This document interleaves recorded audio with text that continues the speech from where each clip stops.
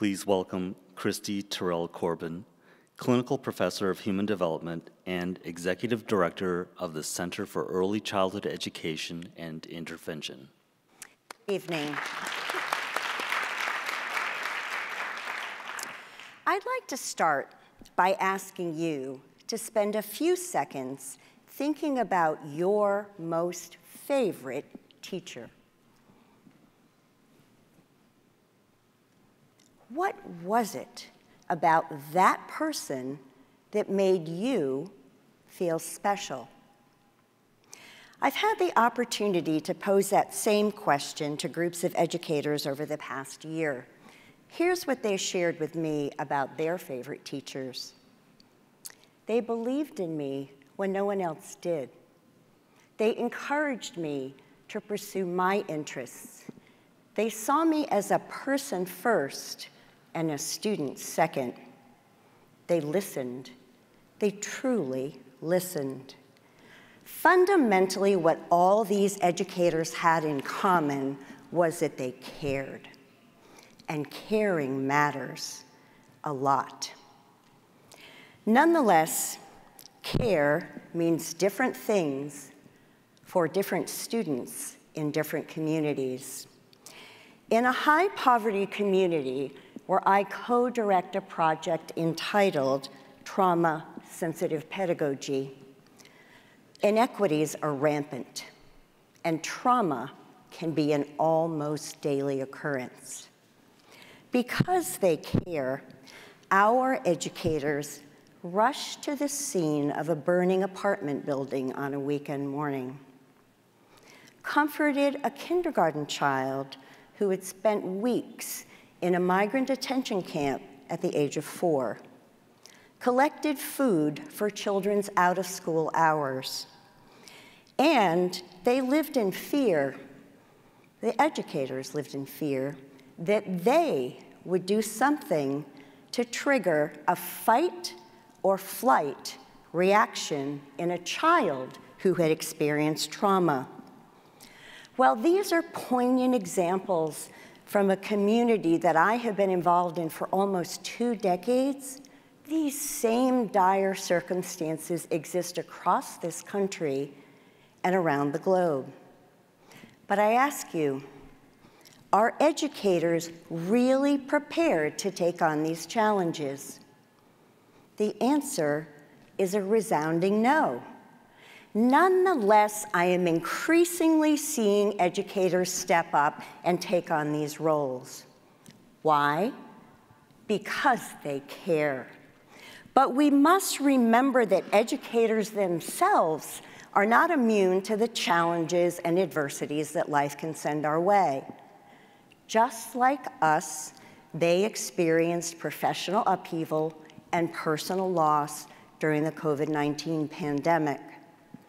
In some states, they are bearing the brunt of the politicalization of education. And everywhere, sadly, everywhere, just like our children, they are living under the threat of gun violence. With all these burdens and responsibilities, weren't dire consequences in inevitable? Educators are on the front lines of our society, and this has taken a toll on their mental and emotional health. My colleagues and I have talked to educators in a variety of states across the country. They've shared with us their stories of secondary traumatic stress, burnout, and even compassion fatigue. Figley, who did a lot of work with social workers, termed this the cost of caring.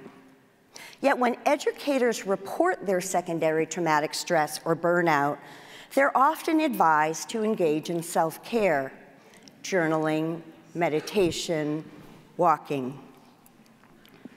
You're chuckling, right? As if that is going to solve the issue. And you're absolutely right, because that guidance, while self-care is critically important, that guidance suggests that an individual level response is sufficient to address a systemic problem. We are at a crisis point in American education. Because of all these burdens and responsibilities, educators are leaving the profession in record numbers. You all saw the headlines in September, and there are still vacancies, yet it's almost May. James Comer, the noted school reformer, once wrote, no significant learning can occur without a significant relationship. But significant relationships don't exist when we have a revolving door of educators.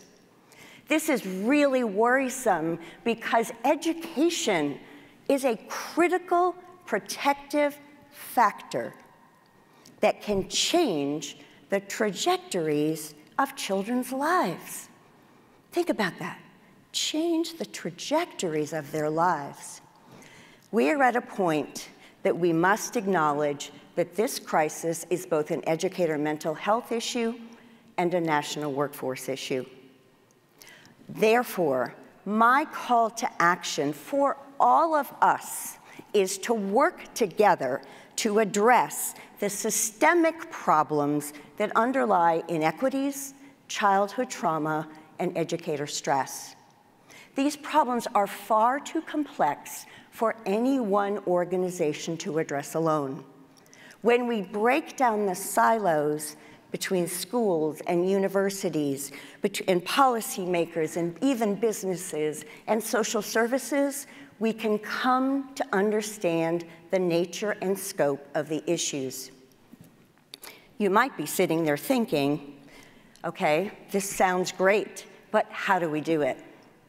We do it by establishing research practice policy partnerships where relationships are built, trust is earned, educators and community members are at every table.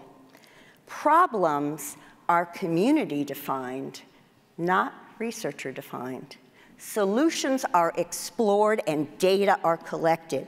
Through partnerships, we establish the infrastructure we need to address these issues. When that happens, teachers get to teach. Social workers engage in proactive versus punitive work with families. And researchers collect culturally relevant data that drives policy.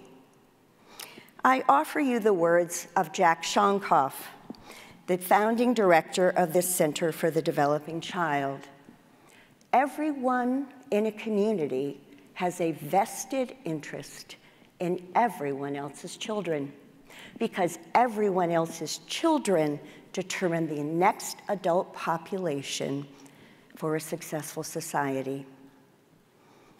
We all have a role to play in addressing the systemic issues that underlie in inequities, childhood trauma, and educator stress. You don't have to be an educator. You can be a policymaker. You can be a retiree. You can be a business person. You just have to be willing to contribute time and knowledge to a partnership. If you're even thinking of one tiny thing you could do, you've already moved us forward in the right direction. As you leave campus tonight, I ask that you please think about that teacher you thought of at the onset of my talk.